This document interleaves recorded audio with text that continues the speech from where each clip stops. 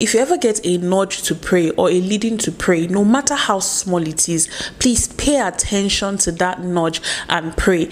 Your ignoring or paying attention to that nudge could be the difference between life and death. Life is too spiritual for you to joke about prayers. You cannot be praying part time when we have a devil that works full time. You will pay for it dearly trust me, a lot of believers are living in defeat because they do not prioritize prayer. They do not understand the power of prayer, especially praying in tongues, praying in the language of the Spirit. Remember, there was something that I needed to get that was really, really important, and the time frame to have gotten this thing was usually between a week or two. I was very certain that I was going to get this thing, and I remember when I applied for it, the Holy Spirit told me to pray about it. But I was too certain that I was going to get it. I did not bother praying. I was like, mm, this is sure. There's really nothing to stress about. To cut the long story short, something that was meant to take a week or two weeks ended up taking four months.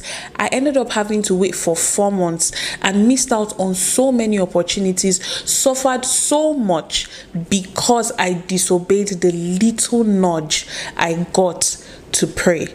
Please don't joke about prayers. The Bible tells us that the weapons of our warfare are not carnal. This end time that we're in is not a season for you to be lackadaisical or lethargic towards prayer. You have to pray like your life depends on it because it does. Especially when you are going through a trying season. That is the season you are meant to be praying a lot more because you are contending. And I can tell you from experience, the major thing that wears Satan out is persistence, consistency. When you are persistent in the place of prayer, Satan is going to be out. The Bible says the effectual fervent prayers of the righteous makes much power available.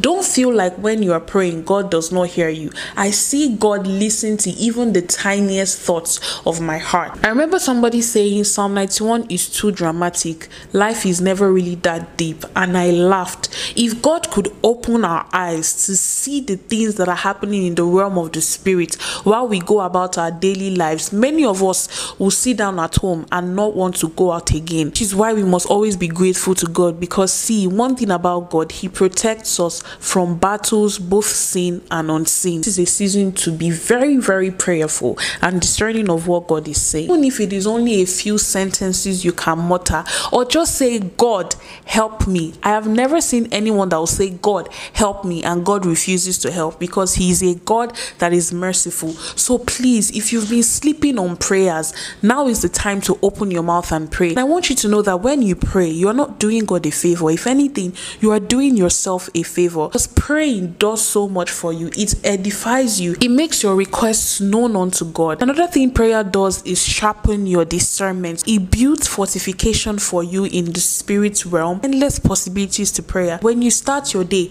pray. In fact, as you're entering a new week, speak into your new week. Because let me tell you, as much as God has so much planned, for his people. The devil too has so many plans and agendas against the saints. And this is the time for us to wake up, rebuke and refuse every agenda, plot and plan of his. I pray that God would help us to be discerning. Send this video to someone you think needs to hear this.